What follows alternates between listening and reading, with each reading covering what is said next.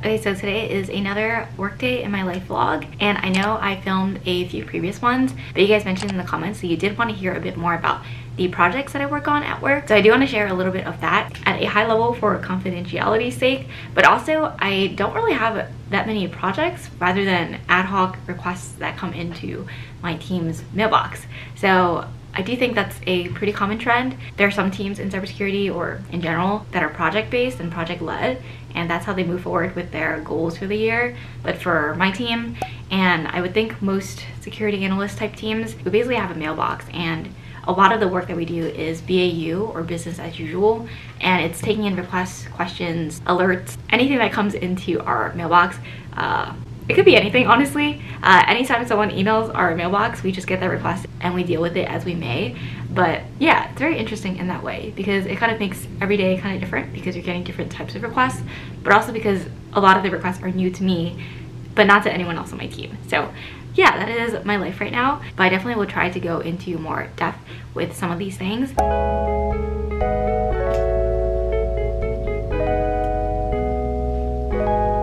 also wanted to show you guys some of the cookies that we got last night and my existential crises notes to myself if you're ever interested in reading those. But yeah, I already ate some, so they look kind of gross, but you can tell which one's my favorite. Now, I think this one is Nutella s'mores. This one is just normal s'mores. And this one was the Fruity Pebbles one with white chocolate chips, which was amazing. And sorry, I just I just got you guys. But yeah, these were so good. I got these last night at like 9 a.m. Or I got these last night, ordered delivered at 9.30 p.m. This is adulting, I guess. Okay, so I know I mentioned that I am working on a bunch of different security requests, but my team is also trying to expand on the things that we can work on.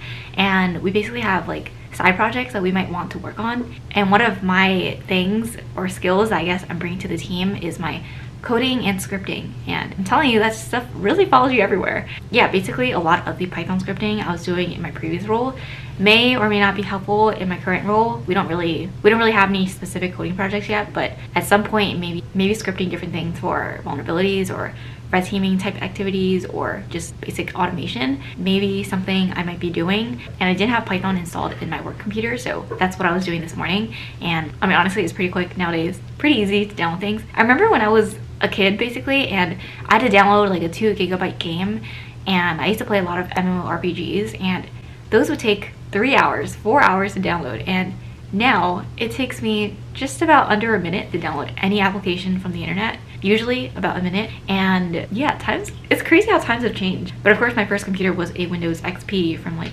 1997 or something so and that computer was basically as old as i was anyways this isn't a video on me reminiscing on old games I used to play. But if anyone has played a MMORPG called Mabinogi, that's the one that I played my Nexon. They also made Maple Story, which I believe is more popular, but I really like Mabi. It's sometimes I still play um, if I have some time, but it has a very special place in my heart. All that to say, I think Python is a pretty good language to learn if you guys if you guys are trying to get into scripting and whether it's scripting for red teaming, automation, any kind of exploitation, Python is pretty nice because it's super lightweight. You don't need anything besides your Python script if you only want that one Python script file. And of course, JavaScript is another good option, but I just think Python is actually easier to learn, even though you guys know I didn't do well on my first Python class, but now I've come to appreciate it a lot more. And for any front-end developers, I'm so sorry, but I'm definitely not a front-end person and JavaScript never has looked pretty to me. It's always been very like, it's always been a little bit hard to read just because I'm not used to JavaScript syntax. Most of my experience is in back-end, kind of full stack, but not really. Yeah, so mostly C Sharp and Java are my strongest languages, I would say. And then now Python I'm getting into, but you know, I've only done it in one job and taken maybe one or two classes in it, but definitely not as experienced in Python compared to C Sharp, Java. And I've also never really been into front-end languages. I've tried a bit of Angular, never really been a huge fan, but I know some people who are amazing at front-end and I could never even CSS kind of kicks me in the butt. So yeah, kudos to you guys who are front-end wizards. But yeah, for scripting, Python, JavaScript are good options, especially if you're trying to get into cybersecurity and want to do coding or want to be scripting. Those are probably your those are probably good options to start with and then and then maybe you can go into more complex or niche languages as you wish.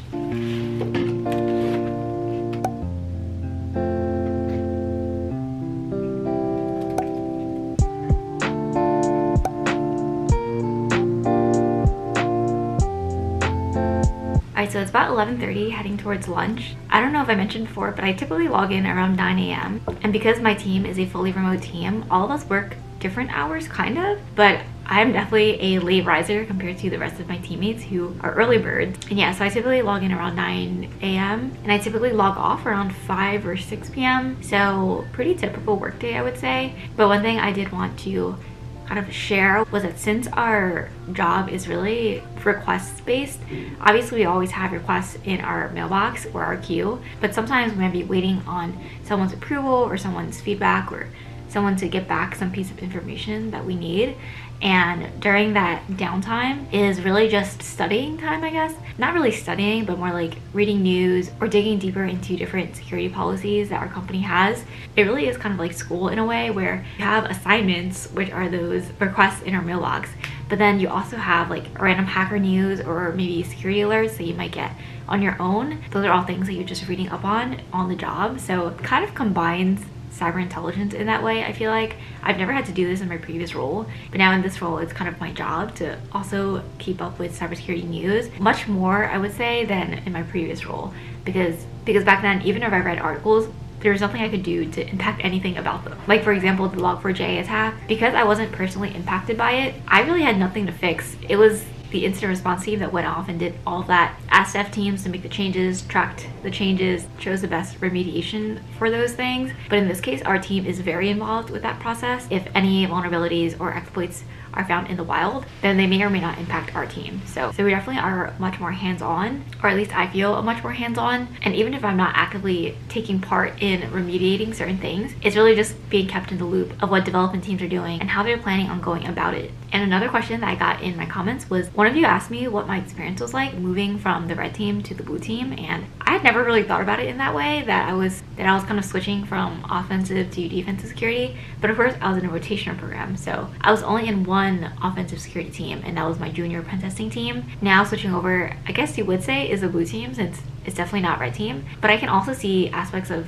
my team that may also be considered red team. It definitely is a blurred line there, I would say. Yeah, I would love to make a video on the transition from junior pen testing to now taking like security requests and different things like that. So I'll definitely try to make a video on that experience, especially for some of you who are maybe interested in switching from red team to blue team or even blue team to red team and just the transferable skills that I've noticed. Yeah, I also just filled out a kind of weekly report for my team and it's kind of like a daily stand-up but not done every day and we just write down the things we've been working on which is pretty nice but yeah that's probably about it for my morning so i'll talk to you guys after we pick up some lunch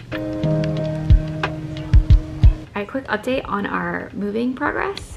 So we have our OG boxes. Now we have these extra boxes. Yeah, my desk is also very much clear, in my opinion. Um, there used to be so much other stuff, but most of this stuff is just like my daily headphones, car keys, and then makeup stuff. And then of course my cookies. And yeah, and then Luca's desk, cat. And everything else is just stuff that we're still using. What are you doing? I didn't tell him to do this, guys. He, he's just doing this. what are you doing? Uh, time to watch. Anyways, um, boxes. This stuff, like, a lot of this stuff is stuff that we can't pack away um, like the cat stuff, those probably aren't gonna go in boxes. They're just gonna be, you know, in the U-Haul that we move with. And the cat beds, yeah, they're also not going in boxes. And then out in the hallway, we also have boxes packed. Boxes all along there. We're mostly done, I think. And this is actually where Koji sleeps. I don't know if I showed you guys this before, but he sleeps right in the hallway on a suitcase. And this is his spot. But also I think he um, likes his own personal space. So, oh, he likes the reflection of my camera. Yeah, he really loves shoulder scratches. Yeah, we're making pretty good progress with our fridge stuff. We have so much coconut water. I did not realize how much coconut wa coconut water that we had. Yeah, this is what you call lifestyle inflation, guys. I did not use the stove one time. I bought all these eggs, but now we're just gonna move them with us because I did not touch any of them. But yeah, basically this whole week has been raining, so lovely weather, of course. And we just ordered some lunch and got I believe we got Korean takeout food. I've never, this is the only place I've seen with actual Korean takeout. I just got some dumplings and then Luca got some bulgogi and I don't have too big of an appetite because I was eating cookies this morning which probably wasn't the best idea but yeah tonight we're gonna go out for dinner at this place nearby well that's actually not that close to us, but we're gonna drive and head out and it's gonna be Japanese food. So I'm very excited for that. I've been really into udon and basically noodle soup type dishes that are Asian. So Japanese, Korean soup, Chinese noodle soup, very very good i've been very into that i'm excited for that tonight i think they have a shrimp tempura udon which and udon is just a thick noodle for anyone who isn't familiar with udon yeah that is what our day is gonna look like. But of course i have a bunch of work to finish this afternoon and then i also have a good amount of meetings so so i'll talk to you guys when the food actually gets here. A very descriptive sticker. These are beef dumplings and i think that's some kind of some kind of dumpling sauce. Okay, so for anyone who wonders what videos I'm watching during lunch, I'm currently watching the Michael Reeves or the interview that he did with Graham Stephan on the Iced Coffee Hour channel or podcast and I am very much a fan of Michael Reeves and Graham Stephan so this is a crossover I never expected. I don't know if you guys are in like that whole Twitch streaming world like Pokimane and I just couldn't believe that Graham Stephan did videos with Pokimane, Michael Reeves, it's just crazy that so many different areas are overlapping right now and technology is very awesome for that. So yeah i'm a huge fan of michael reeves so i'm like about halfway through his video for his interview basically his origin story and yeah basically like just what he does. So it's very interesting if you guys are also into michael reeves and want to talk about it in the comments i would love to discuss that with you guys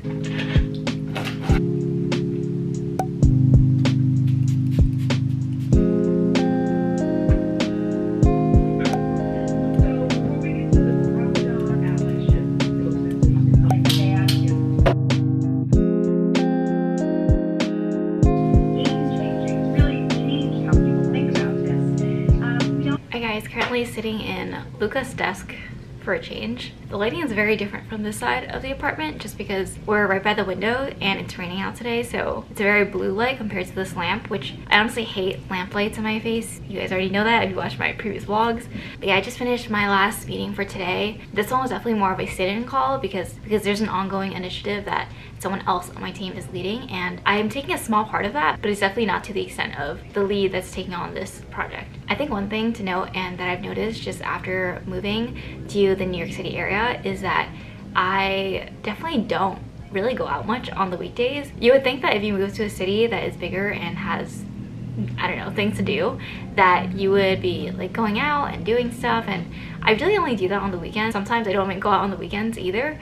Um, it really depends on what's happening. And it just so happens that the last one or two weekends, we've had people visit us. That's why we did touristy things and went out and went out to try new restaurants and stuff like that. But that's typically not a normal occurrence, let's say. Yeah, I feel like people pay a good amount of money for rent to be able to live in the city, but you really have to take advantage of the social aspects of things that go on in the city. Alright guys, headed out to dinner. This is OOTD. Also did and folded the laundry. And here's Bella. Let me know in the comments if you guys think she looks like a raccoon. Does she look like a little raccoon? Oh, hello.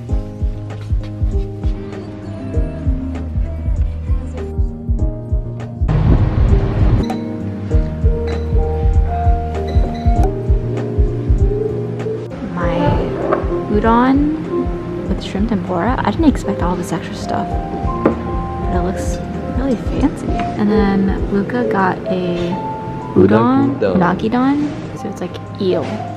Also looks fancy. There you go.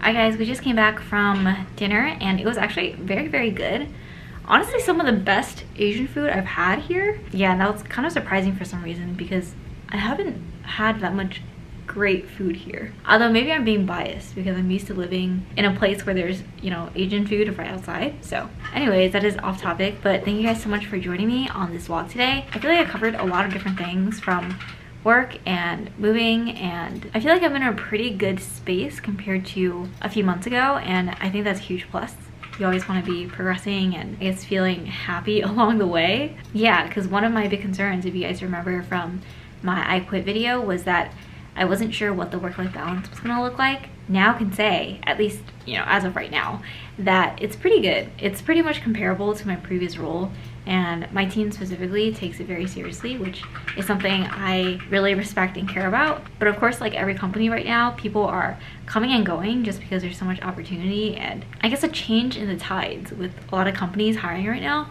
I feel a lot of people especially people that i know as well who are switching teams switching companies switching careers so, so I do think that's definitely something every company in the sector is going to be impacted by. But obviously, I do think that's a good thing for you know career growth and uh, just being able to work on something that you care about, which is always a good thing. But as always, let me know in the comments below if there's any specific videos that you might want to see from me. And if you like this video, please give it a thumbs up and subscribe and turn on post notifications. Thank you guys again so much for watching, and it is raining very hard. I post videos every Wednesdays and Sundays at 12 p.m. And hopefully I'll see you guys in my next video. Bye!